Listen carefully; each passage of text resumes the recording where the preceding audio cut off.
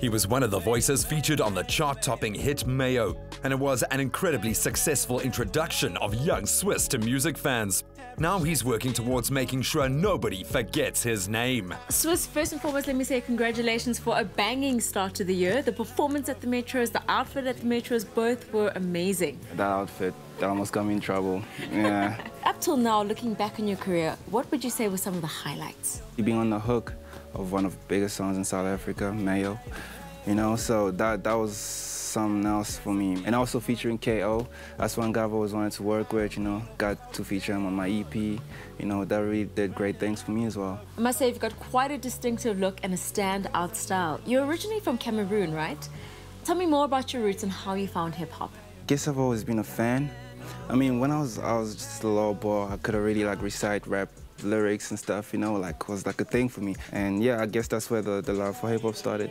And then when I got here in grade 10, that's when I started writing my, my lyrics, my own songs. So the game is quite competitive right now. I'm sure you have to keep putting out those hits. Can you show me what your process is like and what you might be working on right now? Ready for this? Yeah. But you gotta like, you know, keep this a secret because I'm gonna show you a lot of things that, you know, these artists don't know. You know, I don't want anyone biting my stuff, so. Oh, okay. I can keep a secret. All right, let's go. Let's go. His debut EP called Bottom Baby features collaborations with Nadia Nakai and Stanley Enow, and has helped develop his sound and fan base. If you like it, tell me. If you don't like it, don't tell me. Let's see what it Alright. like. See, that's what I'm talking about. The 808.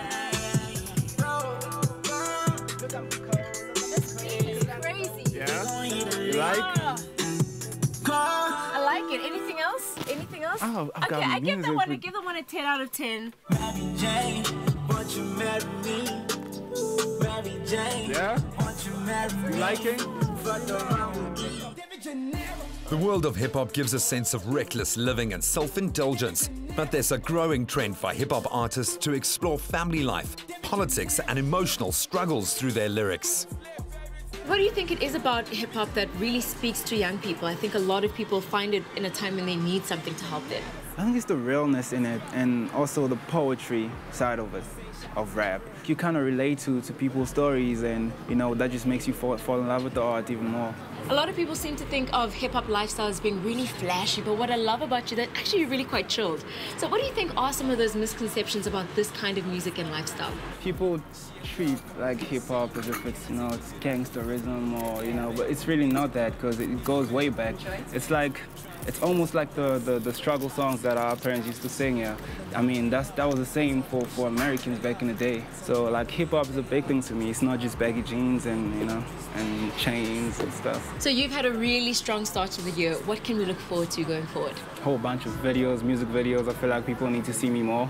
So um, I need to give them visuals. Probably an album, because my fans been asking for an album and I feel like I owe them one. I have this feeling there's one more song that you can add on your new album, okay? Yeah. And it's a freestyle, and I think Oh, the man, concept you- has something to do with a breakfast just, show you just keep making me called rap. Expresso. and I think we should start it off with the freestyle. Let's try it. Got my vest on, I'm chillin' with Expresso. I gotta fly to catch, or even fly with the Air Force. Rappers flow fast, but youngsters try to stay slow. You already know I'm too much, man. Case closed. That's what's up.